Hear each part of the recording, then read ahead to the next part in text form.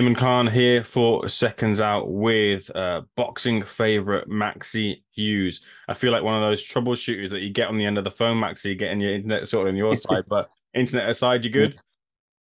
Yeah, good, mate. Yeah, yeah. You need the internet as well uh, to keep uploading to the new Maxi Hughes YouTube channel. I know that people are stopping you in the streets now and saying, "Is that is that Maxi? Is that Maxi?" But what what goes Yeah, into doing it. that side of things? Um, it was my wife that encouraged me to do it. You know, with I've I've found myself watching. Obviously, Tony Jeffries is um he's he does really well his channel. Mm. Watch a lot of Tony's stuff. Well, they do like boxing content on YouTube, who are not actually boxers who've never fought, and you know, and they're doing extremely well from it. And I'm like, I've got 20 years experience, you know, and I've fought at a high level, you know, the highest level at professional boxing. So I've got, a- you know, I've got a lot of knowledge and a lot of insight and stuff. So my wife sort of encouraged me, and you know, it's sort of a pro, you know, I am in the the the latter part of my career, so I suppose you know if I've got nothing to lose by trying, so it's almost like teeing up a little bit of something to go into retirement with, um, as well, you know, as well as it's self promotion, isn't it? So you know, getting myself out to a broader reach. Um, I have a good video video guy who is is doing some for me currently. You know, like behind the scenes training, like because Golden Boy are not sending no cameraman out for me. Obviously, they're only doing Zepeda. So yeah, I've got my own, and I'm doing my own investing in myself. So because the wife is pushing you to do this, will you get her on the channel like Froch is doing with his wife? She helps record all my videos. Yeah, so just um, I'll I'll see. Yeah, I'll see one day. Like we've got camera coming tomorrow, so she's gonna have to appear because camera's doing like you know a day in the life. So she's gonna have to appear on it. So what? So the type of content you're looking for is like behind the scenes stuff, just really kind of dialing in and what you're going to be doing in fight weeks and heading up to the Zepeda fight in in the near future as well. a bit of all sorts. You know, obviously it is a boxing channel, but like the video, the, the I put there's only two videos on there um, as of now. Um, one was just an intro, but the one I, I explained. Now people still thought I were matchroom boxing. You know, get, I, I go to the shows, Hmm. so I'm getting asked a lot about it. Um, oh, you know, why why Eddie doing this? Why? And I'm like, I'm not actually with Eddie. No, I, I didn't I didn't re-sign my new contract, so you know that video's done particularly well. It's nearly at twenty thousand views, and you know, subs- it's making me subscribers go up. So I'm doing all sorts of content. You know, obviously doing my own promotion, like behind the scenes, day in the life, and me training and stuff. But the bits that about the business that I've learned working with different promoters. You know, I've also got a couple of tutorials recorded and ready to go. So yeah, it's going to be all, all sorts of boxing. Max, I'm one of those people who are guilty of watching a channel and then not clicking subscribe. So what I'm doing right now is I'm actually going to press the subscribe button right Yep. now. and Urge Don't everyone forget else to hit that subscribe button. Yeah. There you go. It's done right there for you, Maxi. Uh, very much Thank a good you. watch and much appreciated for the content as well. Much appreciated for this interview too. And I want to get to March 16th. Zepeda. It seems like you're on the tough road again, Maxi. No one can ever say that you've ducked a fight or don't want the tough fights, but Zepeda seems like a tough one as well too, Maxi. You know, I've looked at, you know, they're all tough fights, aren't they, at, at this level? You know, especially when you're, you know, I've said in other interviews, I haven't been given, I ain't been, I ain't been picked out of the hat for this.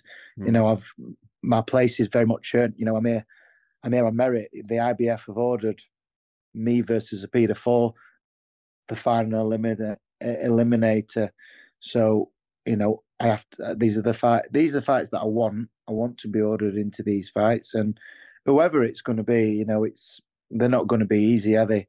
Um, but yeah, when when I do get to the top and get where I want to be, you know, I can I can say I, I did it the hard way. You know, I had to travel, which you know I don't mind traveling, but you know, like I say, I did it the hard way and and took all all challenges that were that were put in front of me. Was Zepeda someone who's been particularly on your radar for the last couple of years or so, or uh, is, is he someone just that's just come into your kind of real thinking in the last um, year? I'd seen him over the last couple of years, yeah. So since he was signed by Golden Boy, um, and that I, I, I always presume any any one of the top lightweights, the the paths could cross. So I always keep my eye out on on who's fighting who, and you know have a watch of that. And obviously he's promoted by Golden Boy and boxers on DAZN, so it, it, the, the, his footage and his fights were there to see. So you know, obviously him being a lightweight and a lot of noise around him, I just watched anyway. So it it always you know is someone I've watched, especially the last couple of fights that he's had anyway. So yeah, um, and obviously as soon as it got put to me, I thought, yeah, I know I know what he's about. I know what this kid's about. You know, I didn't have to go and research and double check the way he fights. You know, what you see is what you get with him. You're no stranger to fighting tough Mexican fighters. Do you feel you can take a lot from the fight with Straffon? Many were kind of feeling that he'd probably go through you and you were able to turn the tables and put on a real good performance against him. Do you feel you can take a lot from that and apply it to the, the Zepeda fight? Yeah, I could take little bits from there. Um, and like I say, it's the the they're built very similar to the Mexicans, you know. Um, you know, they're very tough. They will keep fighting till the very end. And my sparring partner at the minute, uh, Alex Dilmaghani, he's he's been brilliant sparring for this, and he he actually spent I think two to two and a half years in Mexico at the beginning of his career. Um, and, you know, he, he, trained out of the Romanza gym, Nacho Beristain's gym, so he's he's very much known. You know, and he follows a lot of Mexicans. He obviously built relationships up there. So he knows a lot about He knows particularly about that sort of camp. So getting um, you know just bits of information on how training camps sort of go over there and you know just like little bits of information of, of what to expect and sort of stuff like that so yeah i'm i'm, I'm going into a fight fully fully confident and and knowing that i can i'm capable and i can get the job done does the mentality change when you're fighting not a boxer this time around but someone who has a level of power, which at the levels that he's been in is he's shown that he can get those finishes. Do you have to kind of switch up how you prepare for him in your mind? Uh, we just concentrate on what we're going to do. Mm. You know, concentrate on myself, and we work. You know, we'll, we'll do a good mix of all sorts of scenarios and prepare. You know, and and stuff in our preparation. You know, so um, I'll I will be the best you know, physically and mentally prepared. And I think a lot of it um, is is about how mentally prepared you are um, for certain fights. You know, I'm I'm I'm prepared myself for. You know, like with the, I mean, the Straffon fight wasn't easy, but mm. you know, I made it look easy, and and this could be another one of them fights. You know, is is like you know, is a very much come forward, very aggressive fighter, which you know could suit my style and how how I, I implement my tactics. I could make it very easy. You'll prepare diligently on your end, but once the final bell goes, it's in the judges' hands. Now, I, I imagine that you will have some feeling or wariness as to it being in the judges' hands again, being the away fighter on the show. Yeah, there's always that worry but I don't want to try and focus any too much energy on that because you know you can can end up down a deep a deep dark negative hole and worrying about that and you know take me out of the fight. So you know i've i made made sort of made me peace a bit with what happened in oklahoma last year. This is a new fight a new um you know a different state i have asked my team you know DiBella who, if who the judges are. I don't think they've been selected yet, but as soon as they are selected, you know, we'll know. Um, but yeah, as long as I'm prepared, I go in that ring, and and I do my job. You know, it is what it is. Uh, you know, I don't. Again, like I said, I don't want to think too much on that. You know, especially being negative around it. You know, don't want to let it take my focus, take my energy. Fair enough. I respect that. Last time out over in America, though, whilst you might not have got the win you deserved, um, you did bring back a big American cowboy type hat. What you bringing back from Vegas? Um, probably more than likely summer. Um, we are going to be staying out there. My wife's wife and kids are coming over and we're going to have a week out there after, you know, to to enjoy the place and you know get to get to see some places that we've always wanted to see. You know, we've never been there, so it's a place we'd always like to have visited and and experienced. So I'm sure someone will be coming back. Hopefully, with the win as well, too. Max, a couple final things for myself. Yeah. Loma Kambosos is on the horizon. Firstly, you get this win over Zepeda as you plan to do. Will you insist on being ringside? Uh, yeah, I'll try. Obviously, it's a long, long way in it, Australia. Um, expensive flight, so I'll be straight into Lou and say, "Look, I'm mandatory. Uh, does Top Rank want to pay for me to um, fly out there? You know, do the do the whole getting in the ring after to to start building up the next fight? So because the winner of that will have to face me in the next fight. So you know, it makes sense for me to be there. I'd, I'd like to be there and watch it firsthand. Mm-hmm. Um, make some for, for some good content for my YouTube channel, wouldn't it? um, so yeah, I'd love to be ringside for it. Um, so we'll so we'll see. I'll get make sure I get job done on Zepeda, and then I'll be straight into Lou to uh, to get me over there. Who do you think gets the job done in Loma and Kambosos?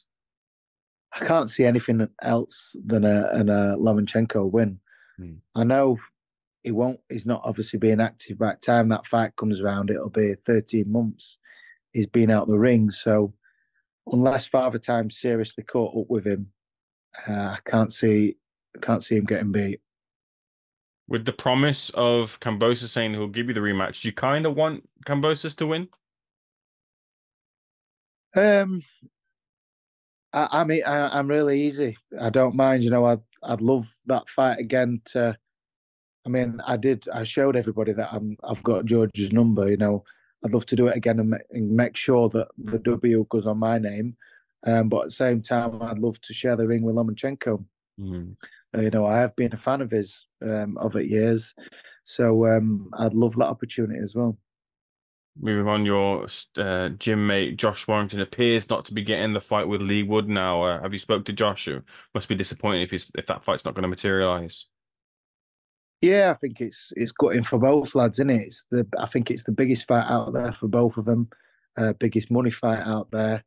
Um, I've only yeah, so I've only just like about the the city ground scenario that I think something's gone wrong with that that they they're not able to put it on something like that. But yeah, it's it's disappointing and, and it'll be disappointing for both teams that it's um it's not. I mean, uh, it need to they need to get into Eddie because the fight would sell wherever wherever it is. You know, it's a big fight, so wherever it is in UK, you know, it'd sell. You know, get it on a neutral ground, Manchester or maybe even London or whatever. You know what I mean? So there's plenty of places that that could go and sell. I agree with you. Uh, you've also been in an interesting position where you've been sparring uh, the likes of Taylor and Catterall as the two gear up for their rematch. I'm going to put you on the spot, although I think I saw a previous interviews on IFL that you kind of stuck on the mm. fence on this one. So I imagine the same thing. But uh, could you pick or split the two? Uh, not as of yet. I've actually that's what's going out tonight on my YouTube Ooh, okay. channel, my own my own preview. But um, yeah, I can't split them at minute. You know, they're both they're both top level fighters, and it's it's who can deal with it on night. And obviously, this one it's a particular grudge match with a lot of animosity there, so emotions can run high, and it's whoever cannot let them emotions cloud, you know, their their game plan and their focus, you know, which is, I would imagine for them to, it's going to be quite tough. So whoever can keep the self under control and, and especially whoever can get off to a, a good start, I think, has the better chance of, of, victory. What was the? I'm not asking you to say about how the spars went, but what was the difference between spar and both of them?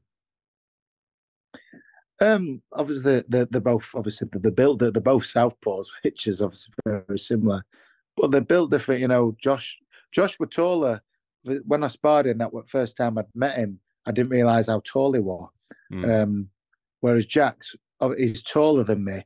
He's got very long arms, and you know how how he's how his stance is in the ring um, makes himself like like bigger, if if that makes sense. So yeah, um, they're both they're both very different stylistically. um, you know, which which makes it makes it interesting. And obviously, it was a brilliant fight that first one, entertaining to watch. So, um, as a boxing fan, I'm very much uh, looking forward to it. As, you know, especially with it only been down road from from us um, in Leeds. Imagine you and uh, Jack had a bit to bond over, considering some of the way some of your fights have gone. yeah, yeah, yeah. Um, finally, Maxi, I'll leave the final word with you. Uh, in the fight with William Zepeda, what happens? You know, I, I say about all my fights. However, however it comes, I will just ensure that my hand is raised and we come away from Vegas with that win and the mandatory position.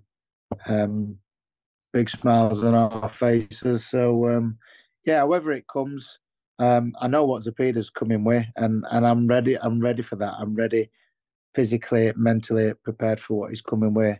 I'm going to handle him and get the job done and game and take his O. That's what I'm, that's what I'm coming back from Las Vegas with. Zepeda's undefeated record. there you go. Good way to leave it, Maxi. Pleasure's all mine. Thank you for speaking seconds out, sir. All the best on fight night as well too.